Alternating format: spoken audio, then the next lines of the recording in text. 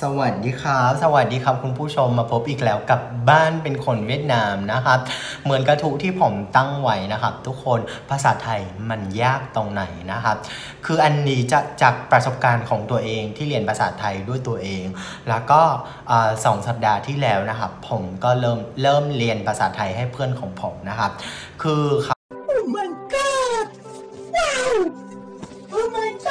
เขาบอกว่าเขาก็สนใจเรียนภาษาไทยมากทั้งทั้งที่เขาก็ชอบดูละครไทย แล้วก็เออเออคือเขาเองก็มีเพื่อนคนไทยด้วยนะครับ เวลาที่เพื่อนเขาเขียนแคปชั่นบน Facebook เขาก็อยากรู้มากเฮ้ยไม่รู้นางจะเขียนกำลังเขียนอะไรอยู่นะ หรือว่าสองคนนี้มันมีอะไรมากกว่าเพื่อนไหมนะ อันนี้เราก็ไม่เข้าใจนะครับอ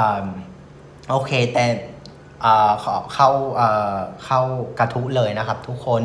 คือเริ่มต้นจากอันแรกก็คือสำหรับคนที่แบบเบื้องต้นเรียนภาษาไทยมันยากตรงไหน ก็คือสิ่งที่สำคัญคือเวลาที่คุณเริ่มต้นเรียนภาษาไทย are the only ones that can end a syllable and make the ending blah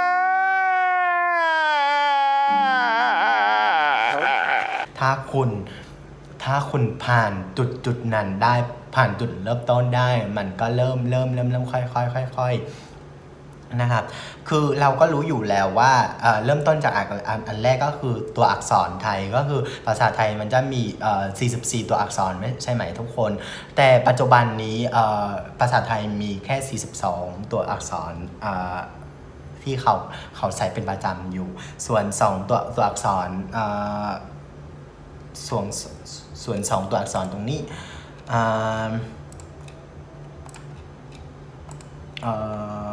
ันนี้อันนี้นะครับ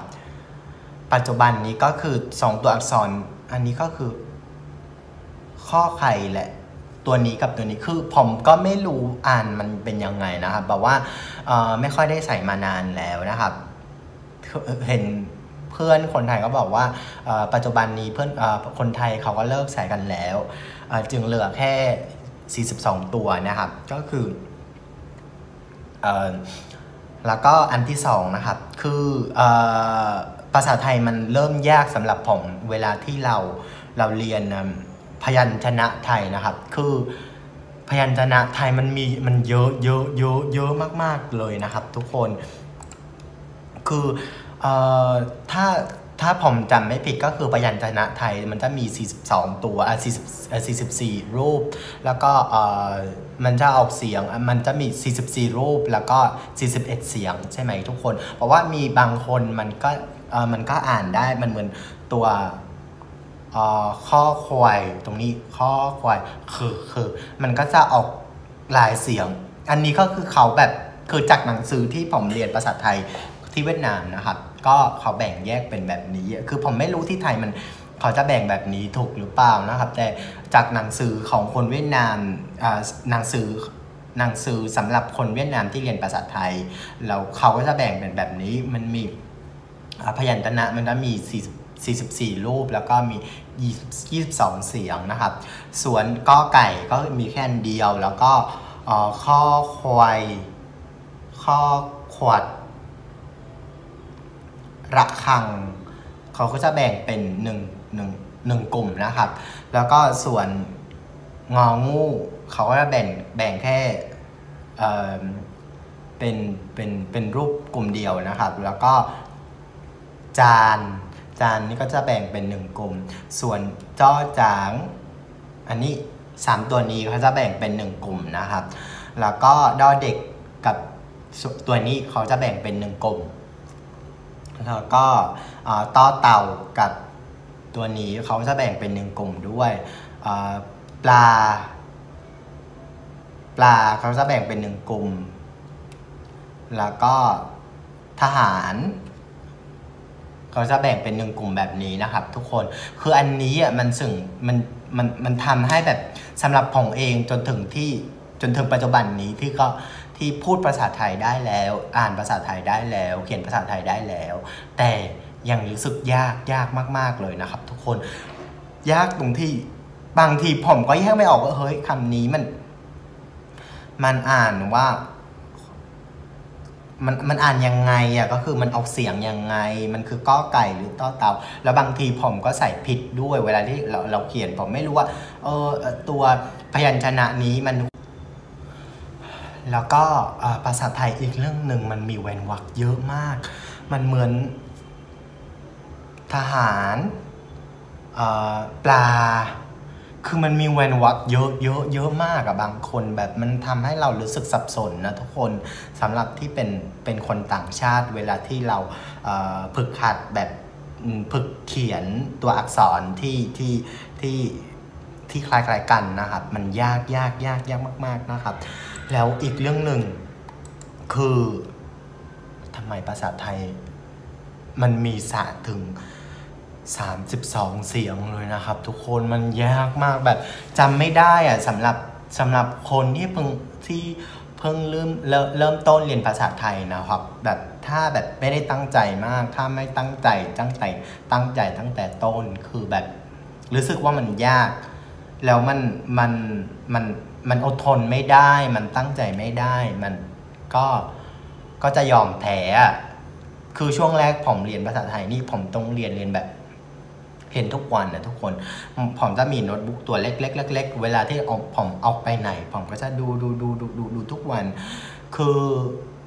คือตัวตัวโน้ตบุ๊กนั้นก็แบบมันเหมือนแบบ ผมจะไปพรินเอาแบบตัวอักษร แล้วก็ เอกสารภาษาไทยนะครับ แล้วผมก็อ่านอ่านอ่านอ่านอ่านทุกวันแบบนี้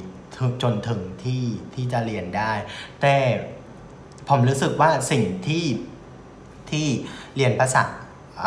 ง่ายที่สุดก็คือเริ่มต้นจากการคุยกับเพื่อนคนไทย เริ่มต้นกับจากการที่เราจะเริ่มอ่านอ่านจากประโยค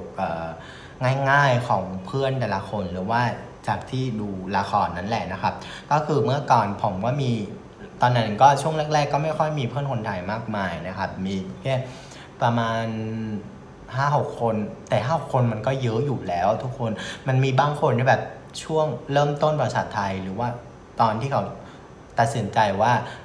สนใจเรียนภาษาไทยเขาก็ยังไม่ค่อยมีเพื่อนคนไทยด้วย เวลาที่แบบ อยากจะเจอภาษาไทย แต่ไม่รู้ว่าต้องต้องต้องเจอยังไงอะ